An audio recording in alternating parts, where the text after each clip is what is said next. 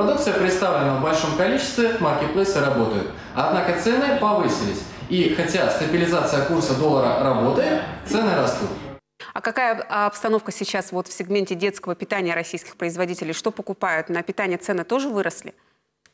Лидером продаж на маркетплейсах в сегменте детского питания, конкретно на примере детского пюре, является бренд Фрутоняня, производство липецкой компании «Прогресс». Также присутствуют бренды «Сады Придонья» и «Бабушкина кошка». Цены поднялись.